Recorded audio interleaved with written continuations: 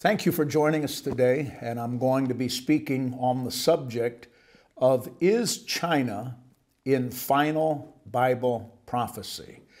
Uh, you can imagine, with all that is going on in our world today and the headlines, uh, that this is a question that is being sent uh, like a mighty wave. People are concerned about what's going on in our world.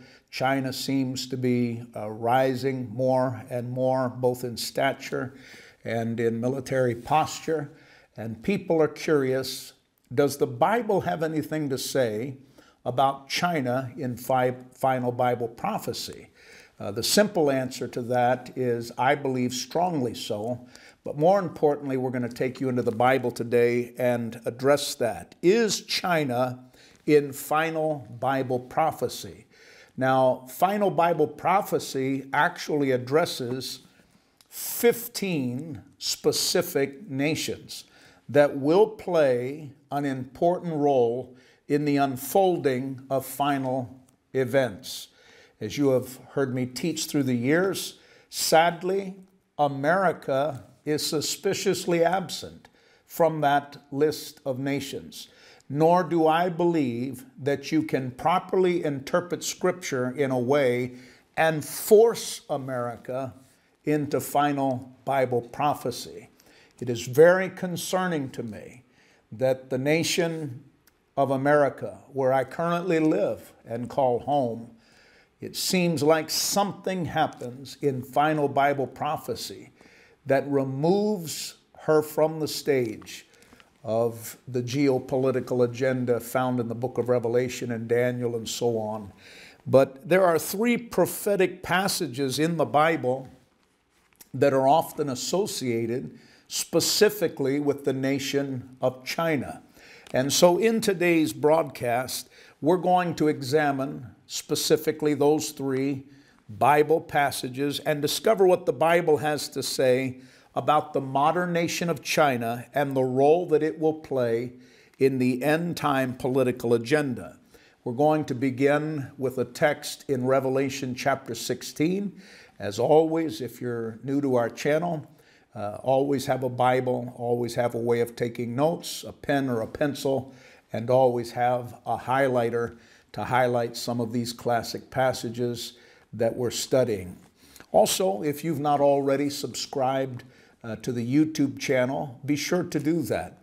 It helps to uh, put the broadcast out to a wider audience and it'll keep you informed uh, if you subscribe also as to every time we download new content, which is typically once every week.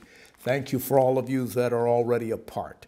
Revelation chapter 16, beginning to read at verse 12 and reading down through verse 16, and I'm reading out of the New Living Translation.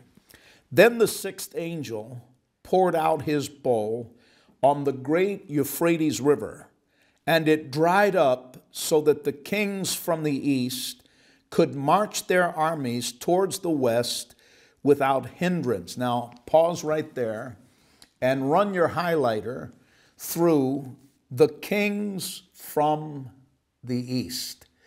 Because as you're going to learn today, I believe this is a direct reference to uh, the modern nation or the modern title of the nation that we know as China. And the Bible tells us geographically exactly where their armies are going to march. They're going to march down the dried up riverbed of the Euphrates. Now, for those of you who understand world geography, the Euphrates River is one of the single most significant rivers in the Middle East. And many scoffed at a passage that in the last days that the Euphrates River uh, would dry up. That would be like saying the Mississippi here in the United States of America uh, would dry up. People can't imagine that. It's never happened before and it seemingly would never happen. But in recent years, the Euphrates River is drying up. As a matter of fact, there have already been times when the Euphrates River has been so dry that indeed this prophesied riverbed, which will become a military highway for a coalition of nations that are going to attack Israel, has been fulfilled just in recent years. I throw that out there because there are many people who, in writing uh, to me and messaging to me, they'll make the comment, there's nothing in the Bible or in Bible prophecy that can be proven. Well, please don't say that around intelligent people. You'll just embarrass yourself. The Bible is full of prophecies that have not only come to pass in exact detail as is found in Scripture, but they are provable to individuals with teachable, open minds.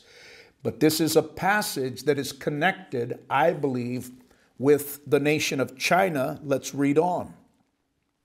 The kings from the east could march their armies towards the west without hindrance. Verse 13. And I saw three evil spirits that looked like frogs leap from the mouths of the dragon, the beast, and the false prophet. Uh, pause once again. Uh, we find revealed in the book of Revelation, as you've often hear, heard me teach, the unholy trinity, which is Satan and the Antichrist and the false prophet. So, as I've taught so many times before, when you're reading the book of Revelation, the dragon is Satan, the first beast is the Antichrist, and the second beast is the false prophet. And these three entities will be strongly involved in the persuasions of end time politics, which is already visible in our world today. But Sadly, it's going to increase as we move towards that one world government, that one world leader, that one world monetary system, the one world religion, and a one world military power that will enforce these severe global mandates. Verse 14. They are demonic spirits who work miracles and go out to all of the rulers of the world to gather them for battle against the Lord on that great judgment day of God the Almighty. Look, I will come as unexpectedly as a thief.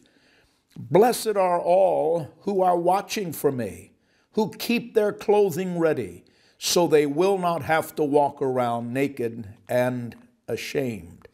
And the demonic spirits gathered all of the rulers and their armies to a place with the Hebrew name Armageddon. Are you ready? Are you living in such a way that when you lay your head to the pillow each and every night, that you know you have peace with God? Are you living in victory over sin or is sin living in victory over you? I asked that question just before we begin our study because when I'm done, I'd like to have the privilege of praying with you. Everywhere I go, I meet people who come up to me and say, I found you on YouTube, or I found your podcast channel, or I found you on Facebook or Instagram, and I've been following your teachings, and I want you to know that I prayed the sinner's prayer with you, and God has changed my life. From the time I prayed until now, something dramatic has happened in my life. And many of you that may be watching, I have no way of knowing how far these teachings go. Recently, one had over a million viewers in just a matter of a couple of weeks. You may need Christ, and that's the most important thing today. I'm asking you to patiently stay with me until the end of our time together, and I'd like to pray with you because I want you to know, not hope so, not think so, I want you to know that your heart is right with God, and perhaps you don't even know the steps to take. I promise I'll be careful to explain that. And then at the very end, I'd like to pray with you. But as we always do when we begin a study, we take time to pray, and let's do that right now. Heavenly Father, once again, as we open up the Holy Bible, I humble my heart in your holy presence. And I humble my heart before whoever may be listening. And I pray that you might give us favor in their eyes to teach and to receive the Word of God that prepares us for the hours in which we now live. Bible prophecy is so accurate, it is history written before it takes place. as we walk into this study and answer the questions that have been sent in. Anoint my mind and my body and my ability to communicate in such a way that these things will be clear and understood by all who listen. I pray specifically that they would live every day ready to meet the Lord. And at the end of our time together, when we pray what many people call a sinner's prayer, give them the faith and the courage to do what they ought to do today. For as Paul wrote to the church in Corinth, today is the day of salvation. Behold, now is the accepted time. Let it be that day. For many we pray in Jesus' name. And all God's people said, Amen. The global geopolitical agenda that was prophesied in the Bible, uh, I've taught on it for over four decades. And every time I say that, uh, I wonder who the old man in the room is, and then it dawns on me I'm the old man in the room. But indeed, for over four decades in over 50 nations of the world, as I have taught on the Bible and preached its wonderful truths, I have proclaimed those five political agendas that the Bible prophesied about. And for many years, it was scoffed at and mocked. People could not believe that where we are currently would ever happen in our world. But this global political agenda found in Bible prophecy, specifically in Revelation chapter 13, is now proudly paraded before the eyes of the world and now brazenly on display for all to see. Now, if you're one of our new listeners and new students, uh, mark this down if you're curious. Listen to a teaching that I have on all of our social media platforms entitled The Five Political Agendas of the Last Days. And uh, I'll not take the time to go over them and teach them but very briefly, they are the Bible prophesies a political agenda in five steps in Revelation 13. It's also verified in other passages. The Bible tells us that we are headed towards a one world order with a one world leader, and the Bible calls him the Antichrist. The third political agenda is the Bible prophesied that there is coming upon this earth a one world currency. None of these are hard to believe where we live now. Laughed and scoffed at in the infancy of my ministry, but not laughed and scoffed at any longer. And then, fourthly, the Bible tells us they will enforce a one world religion. And then the Bible says there will be some type of enforcement agency, whether it's a global military power or a league of military powers, it will be some type of enforcement agency that will carry out these strict mandates under penalty of death. And again, I have much teaching on that. There's an entire teaching entitled The Five Political Agendas of Bible Prophecy. And when you have a chance, listen to that. There are three prophetic passages in the Bible that are often associated with the modern nation of China, and that's all I'm going to focus on uh, in our study today. I only have one goal, and that is to show you three passages, prophetic passages in the Bible, and we're going to take a look at them and we're going to review them and uh, we're going to do our best to uh, show them to you because I think some of these through the years have been stretched a little out of context and I want to show you exactly what the, scripture, the scriptures say. So let's examine each one and discover what the Bible has to say about the modern nation that we call China and what role, listen carefully, what role will China play in final Bible prophecy? Passage number one, and that is going to be found in Isaiah chapter 49 and verse 12. But if you're taking notes, number one, one of the most significant but often neglected passages that mentions China is found in the Old Testament book of Isaiah.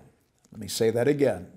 Uh, number one, one of the most significant but often neglected prophetic passages that mentions China is found in the Old Testament book of Isaiah. Now, the Old Testament book of Isaiah, uh, in the Old Testament, and if you're brand new to the Bible, the Bible is not really a book, it's a compilation of 66 books, 39 books in the Old Testament, 27 books in the New Testament. But all of them come together without error. And we have two covenants in the Bible. Very important for you to understand this, especially in light of eschatology or the study of end time events. God in the Bible has a covenant with the nation of Israel. That in particular is found in the Old Testament. But in the New Testament, we now have a second covenant, and that is God's covenant with the church. I cannot emphasize how important that is for you to understand because you will either interpret or misinterpret Scripture by that piece of knowledge. Always remember that. The Bible has two covenants. And so when you're reading the Bible, you need to ask yourself a question. Is this dealing with the Jews and the nation of Israel, the covenant that God gave through Abraham that has gone forward throughout the ages, the Old Testament by and large, or is this God's New Testament covenant given to Gentile believers and a span of time often referred to as the church age. Isaiah penned his prophetic book uh, between 720 and 680 BC. And in Isaiah's book, let's go to verse 12. Isaiah 49, verse 12. In the King James Version and in the New King James Version, uh, it mentions a nation. Now, depending upon which modern translation you may be studying out of, and uh, again, if you're brand new, uh, listen to our teaching on which translation of the Bible is the most accurate. And in that teaching, and I get a lot of questions on this, uh, I give you five Bibles that I highly recommend as accurate. And then I also give you a list of five Bibles that I recommend you do not buy and do not read, uh, for they are not accurate translations. They are oftentimes paraphrased and have not been written through uh, the guidelines of proper interpretation. They have not had uh, a long list of uh, tenured scholars who come together to give us modern translations that are accurate. And uh, I take a lot of flack for this. Some people think the only Bible that you can use is the King James Version, which I love. I'd put it, you know, near the top of my list is my favorite. I, I grew up with that. But can you imagine the arrogance of people who say the King James Bible is the only Bible? I mean, imagine the audacity of that. That of all of the people in the world, of all of the languages in the world, that the only Bible God anointed was in the English language and the King James to boot. That, my friend, is unacceptable at a table of intelligent debate. You have to recognize that God wrote the Bible. The Old Testament, of course, is the manuscripts given to us in Hebrew. Uh, the New Testament, primarily in Greek. We have uh, Aramaic manuscripts, but the Bible is written in Hebrew and in Greek and in Aramaic. Those are the original languages, and all accurate Bibles have to be rendered from Hebrew and from Greek and from Aramaic manuscripts into the languages. So, for an individual to say the only Bible God anointed is for people who speak English is just, I'll just leave it at arrogance. But I do prefer uh, the King James or the New King James in this passage in Isaiah because it helps us to see uh, our connection to China. Let's read it Isaiah chapter 49, verse 12, reading out of the New King James Version. It said, Surely these shall come from afar. Look, those from the north and the west, and these from the land of Sinim or Sinim. Either way, is a proper and accepted pronunciation. Now, again, some of the modern translations don't give us that specific nation that Isaiah spoke of, uh, Sinim. But let's take a look at what we're talking about because uh, when you have a chance, uh, study the Dead Sea Scrolls. And if you Google that, you'll get the history of the Dead Sea Scrolls. The thumbnail of the Dead Sea Scrolls is that a young shepherd boy uh, in the desert was tending to his sheep and he was picking up rocks and throwing them. And he passed by a cave and he took a rock and threw it up into this uh, cut out cave like area on a wall there. And when he threw the rock, he heard something that sounded like pottery breaking. And the unique sound caught his attention. He crawled up in and investigated, and indeed, inside the caves of Qumran, he found these pots that contained many scrolls and, and manuscripts. And that was found in 1947, and included in that discovery were many scrolls containing the book of Isaiah. And this remarkable discovery was so significant because the scrolls that were uncovered provided irrefutable evidence that the accuracy and the trustworthiness of our modern Bibles uh, was validated. And it was in those scrolls that we got the information uh, of Isaiah, and he mentions in verse 12 a specific landmass or nation, Sinim. And it is thought by many scholars that Sinim in Isaiah 49 and 12 is a direct reference to China. Now, how do they get that? And from this uh, land of Sinim? Well, in studying, as I began to do some research on this and double check my life notes, uh, according to Strong's Concordance, Sinim is referred to as a distant oriental region in that time. And then in Young's Concordance, he reports Sinim is a people in the Far East, comma, possibly the nation of China and the Chinese people.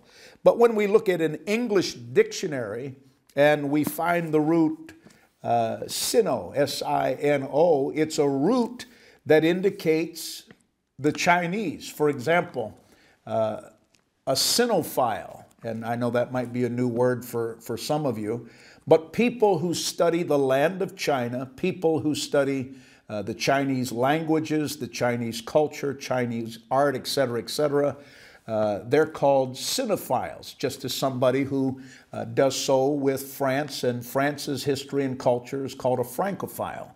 And so a sinophile refers to people immersed in the study of the Chinese culture.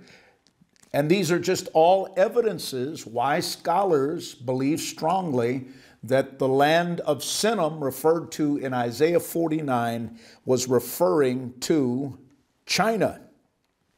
Uh, it is for these reasons that we see that this Oriental people, this land, whether it's exactly China or parts of China, this is the first prophetic passage that is oftentimes at the table of debate when eschatology scholars are writing or referring uh, to China in Bible prophecy.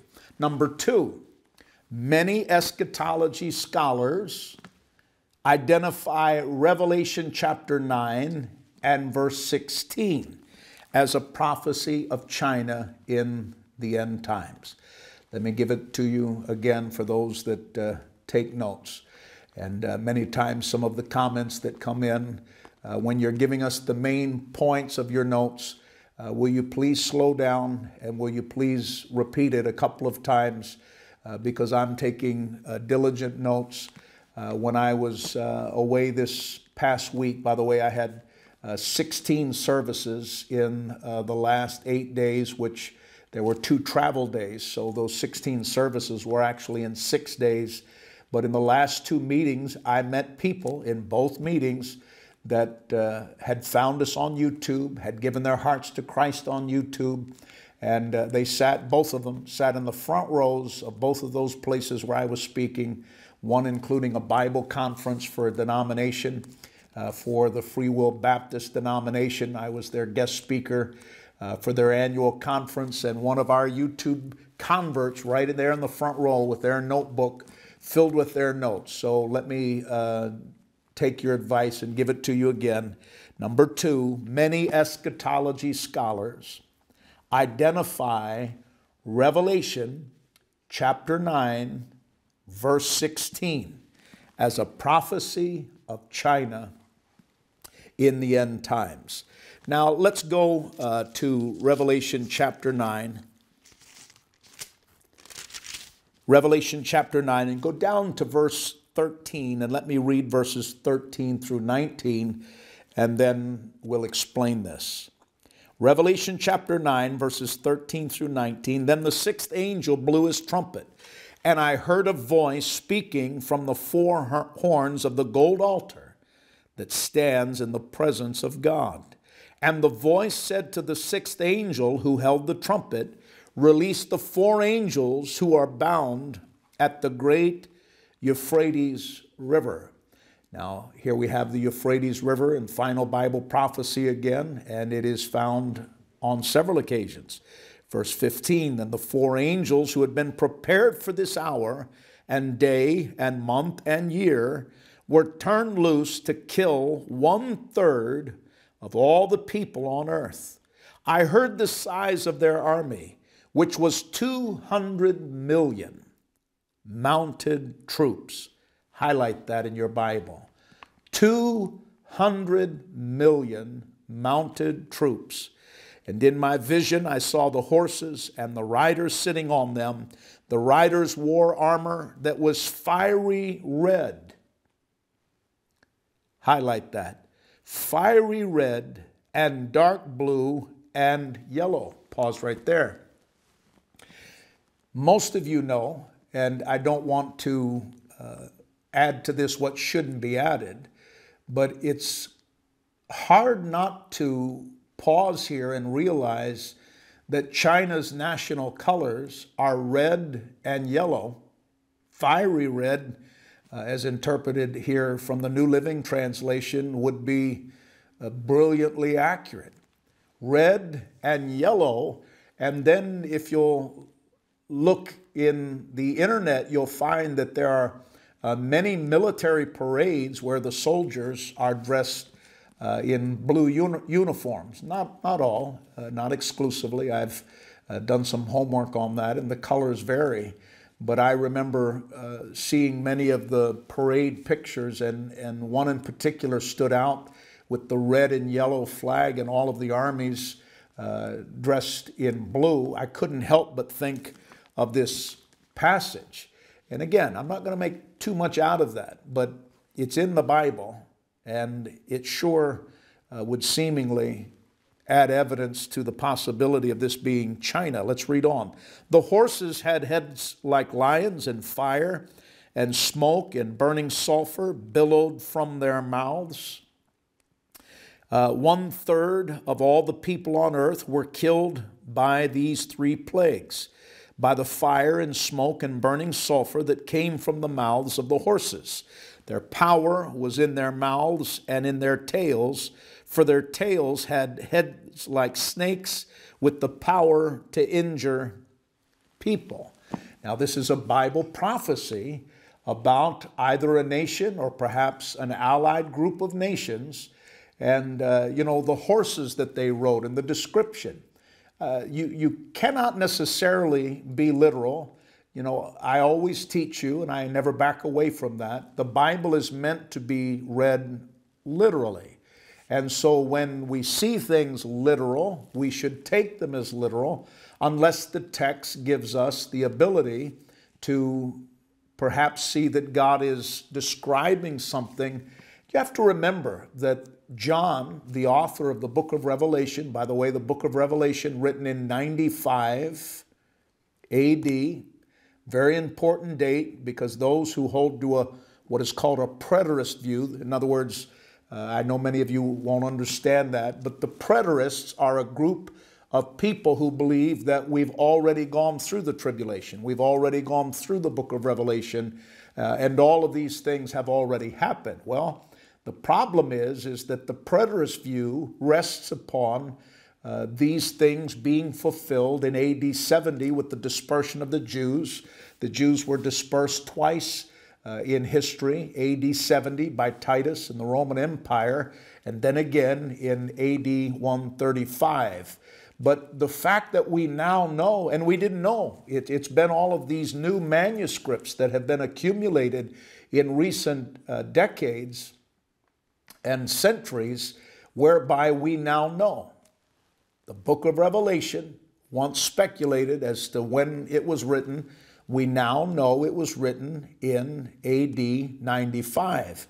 And so, being that the authorship of Revelation is AD 95, uh, the tribulation hasn't happened yet. And uh, that's a teaching for another time. I'll come back to that and add uh, meat to the bone. But I want you to know that the author, I mean, let's just, let's just talk about it. John, the author of Revelation, if, if, if Christ in the vision given to John as he's writing the book of Revelation, if he saw modern military equipment, he would have nothing to describe that with other than what they used in military battles of, of that era. And so for him, he's talking about horses, and there's more than one head, and there's fire coming out of its mouth, and there's fire coming out of its tail, and so on. It, it, it is often debated, and, and not by uh, people who are unlettered, by uh, brilliant theologians, respected, notable scholars, that some of the language in the book of Revelation is probably, probably describing some military equipment that the author John had no way of comparing it to anything that was in the world today. So, is it possible that what he saw was some type of modern military uh, weaponry that have the ability to, uh, to shoot fire or missiles or nuclear capabilities? Uh, well, we do have planes. We do have modern military equipment that can fire both forward and backward, etc. Uh, and who's not to say that the military technology that's in the book of Revelation, we may not have yet seen it, but they will see it in the tribulation era. But the reason why I point this passage out to you, and the reason why many scholars uh, feel that this is China, and this is China involved in the battle leading up to and uh, Armageddon, all, you know, uh, I need to do a study. I've had many questions on this, and I've already answered those that have asked. But for those of you who are listening now, be sure to subscribe because coming soon, I am going to do a study on the possible nine wars of end time Bible prophecy. Many people, you know, they think about Armageddon and they think there's one great war in uh, final Bible prophecy, but there may be uh, seven to nine wars. And I'm finishing up some of my notes on that. And uh, when I get my research done on that uh, in the very near future, I'll come back to this and we're going to talk about the potential nine wars. And many of them, I believe, uh, from uh, my life notes and my research, are going to involve nuclear capabilities. And do I believe China is a part of this? I do.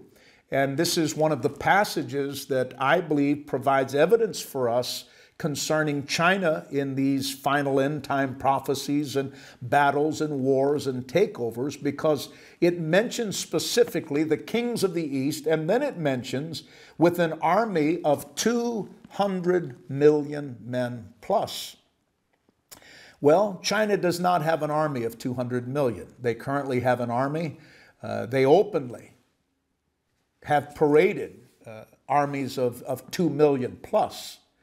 But the current uh, paramount leader, and that's the proper term for referring to uh, the leader of China, he's referred to properly as the paramount leader of China, but he has repeatedly said, and I heard him not long ago on the news with an interpreter in a world forum say, we could amass an army of 200 million men if necessary. I've heard him say that more than once. He openly boasts, and on world stages, he'll say, China could put together an army of 200 million men plus. He's the only world leader that has made that boast, and from what we can see, the only world leader who could possibly carry that out.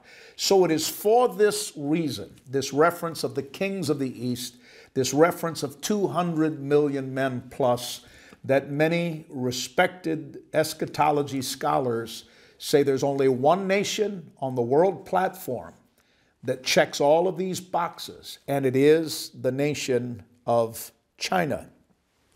Now, I mentioned to you that I do have some concerns, and so before I go to the last and we conclude, let me just quickly go over some of my concerns that don't allow me uh, in proper scholarship to be unbendingly dogmatic, as I hear some on this subject are. One is that Revelation 9 says nothing of an army uh, from the east, Revelation 9, but it speaks about a demonic horde that destroys a third of mankind.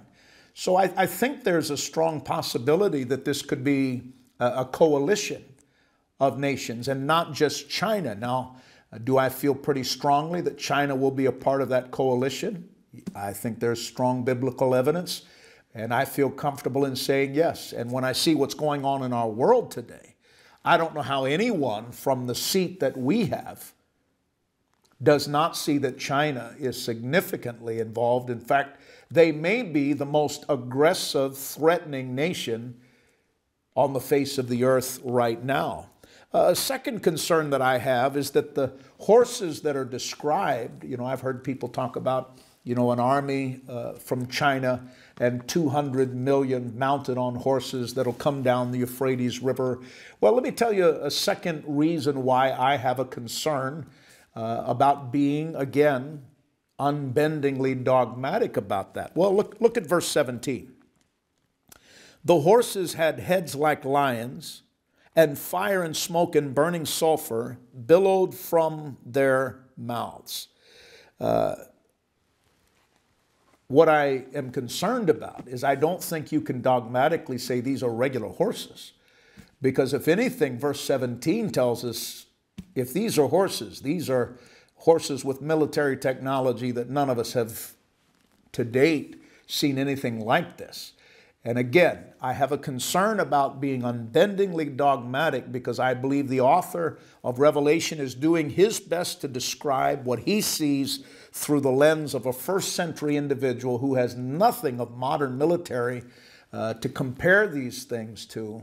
And so I cannot say 1,000% that China is going to have an army on literal horses that'll be in excess of 200 million men coming down the Euphrates Again, you know my uh, belief on being dogmatic. If the scripture gives us the ability to be dogmatic, then I'll be dogmatic. But I think there is some room that we have to allow for uh, what John wrote here and what he was trying to describe. Also, the Battle of Revelation, chapter 9, uh, occurs after the sixth trumpet judgment. And the battle of Revelation 16 involving the kings of the earth, uh, kings of the east, occurs after the sixth bowl judgment, uh, which is about three and a half years later. So, those are some of my concerns in proper biblical interpretation that do not allow me. I cannot, as, and there are many, and if I name some of the names in the books that they've written, many of you would recognize these well known ministries.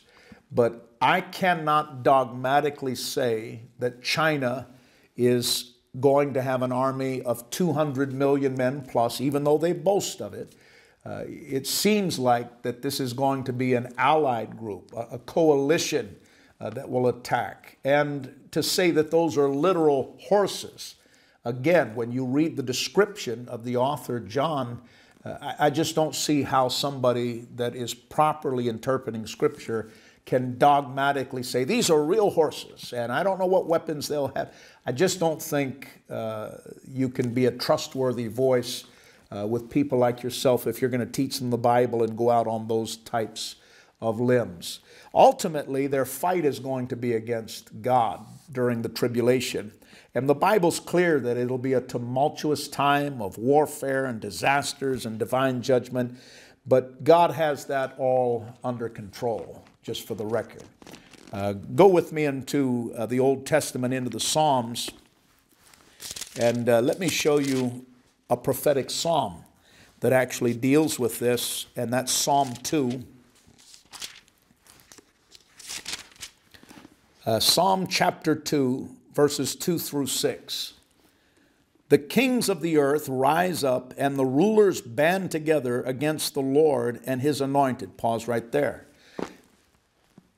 Here's evidence as to why I say I think it's going to be a coalition army.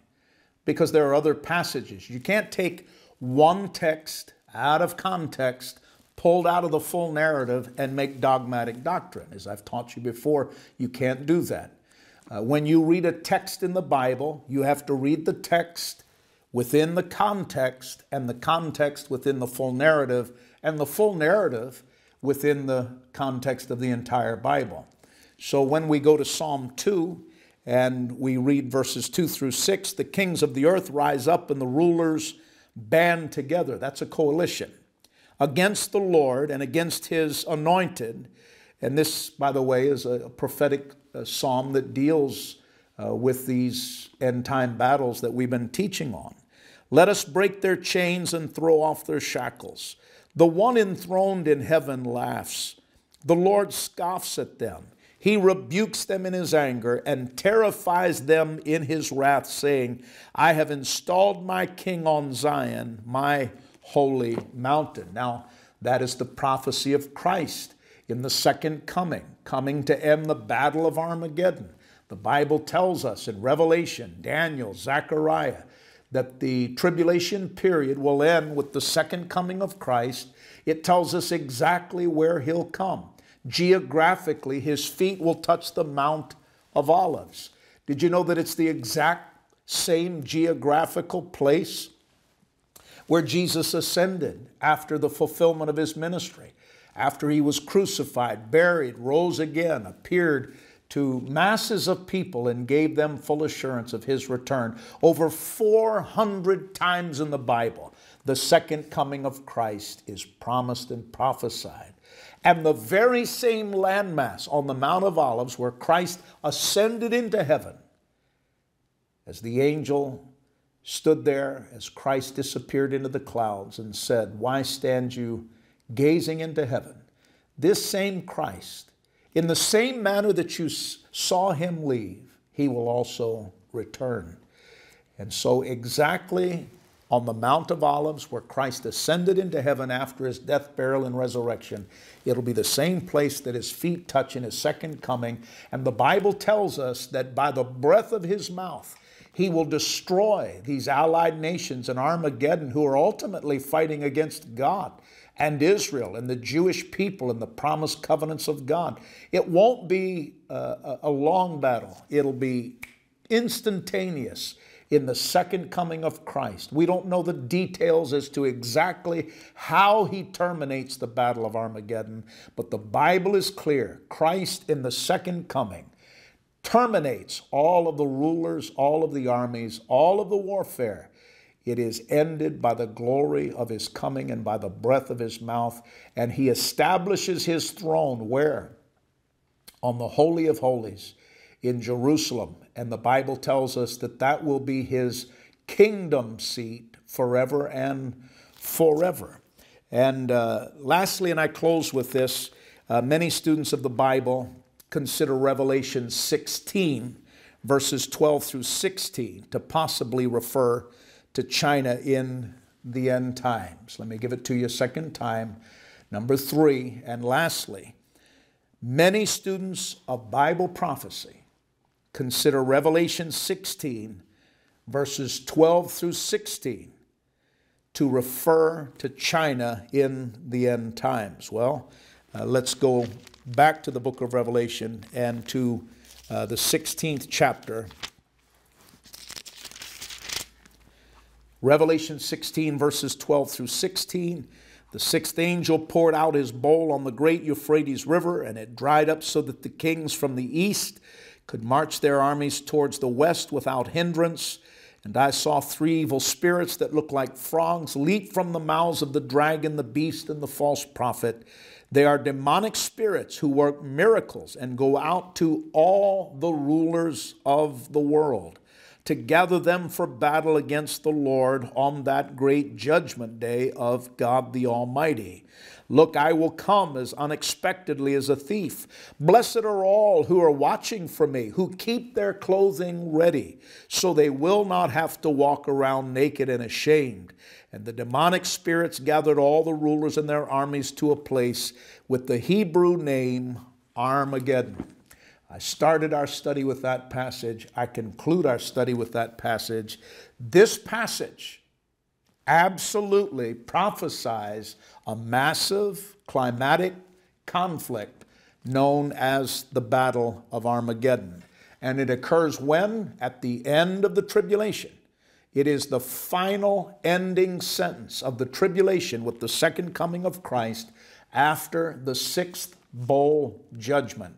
I know I'm getting a lot of questions on uh, what are the bowl judgments, what are the trumpet judgments, etc.